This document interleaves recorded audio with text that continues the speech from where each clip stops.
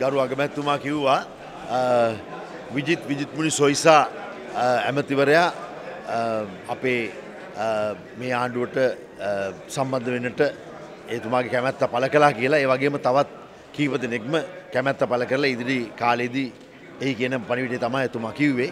ඒ වගේම එතුමා කිව්වා හැකිනම් කැබිනට් ඇමතිදූර දරණ දරපු අයට කැපීමක් කරන්නට කවුද ඉනි කියල ප්‍රසිද්ධිය ඇහුවා.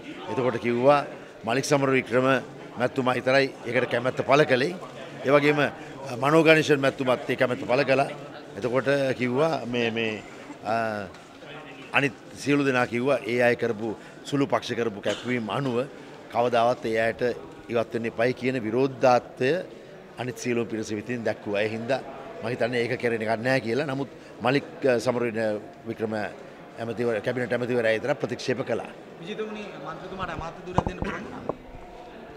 එහෙම එක කතා වන්න එතුමා මේ අප ආණ්ඩුවට එකතු වෙන බව කිව්වා කියලා තමයි අගමැතුමා ප්‍රකාශ කළේ.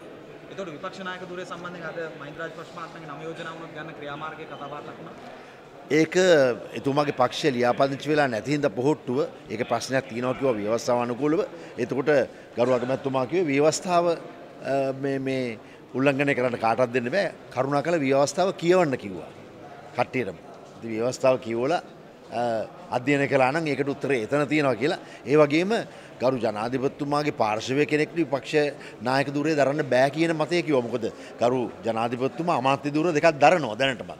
එතකොට අමාත්‍ය දුර දෙකක් දරද්දී එතුමා සාමූහික වගකීමකට කොටු වෙනවා. එකවර ජනාධිපතිවරයාට සාමූහිකව අගම ඇමතිදුර දෙකක් දරද්දී එකවර ආණ්ඩු පක්ෂයේ ජනාධිපතිවරයා සහ විපක්ෂනායක දුර දෙකම දරන්න බෑකින මතය තම කිව්වේ.